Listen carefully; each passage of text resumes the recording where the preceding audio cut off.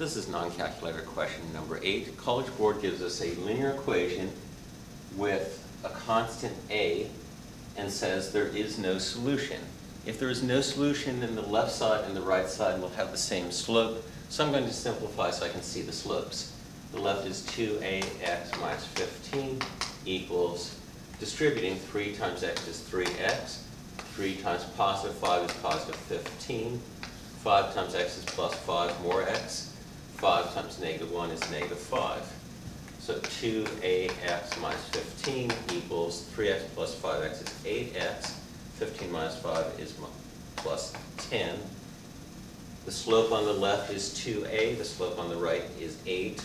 2a equals 8. If they're parallel, dividing by 2 gives me a equals 4.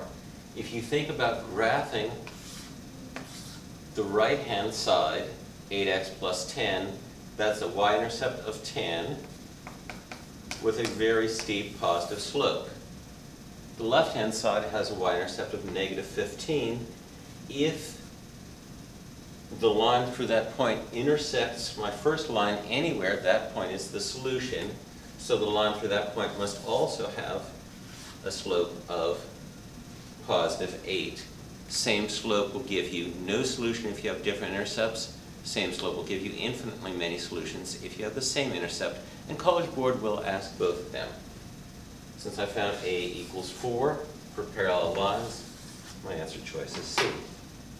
Congratulations to my graduates who are moving on to college with high school graduation today. And come back soon for my next video. With math, there's always more.